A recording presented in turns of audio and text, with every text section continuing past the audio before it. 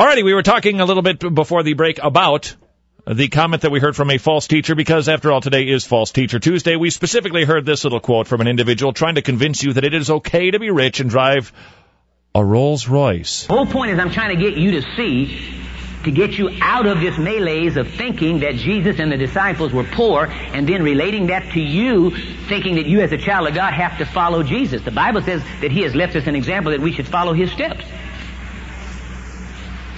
That's the reason why I drive a Rolls Royce. I'm following Jesus' steps. That a boy. Way to sacrifice for your king.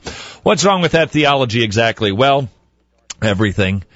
Everything. Jesus, although he was rich, he made himself nothing. Sacrificed everything.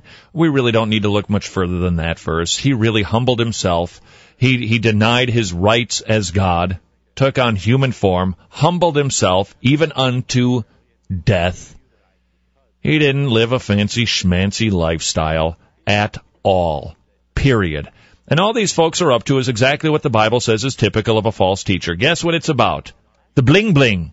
Is that money? Does that mean money? I thought it meant money. Bling bling? The bling bling.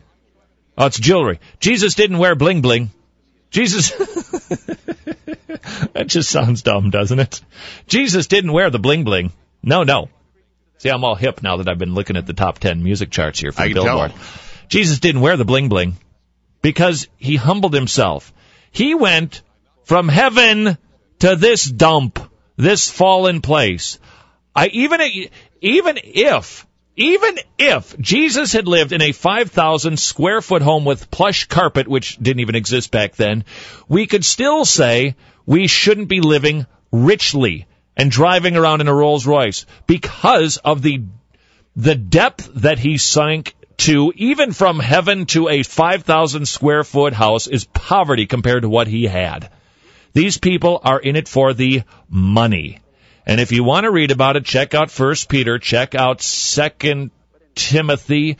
They're everywhere. False teachers are always about cashish. It is always, always, always about money. And so if you are ever thinking about a listening to a preacher like this who's trying to encourage you to get rich from Christianity, that smell is false teacher.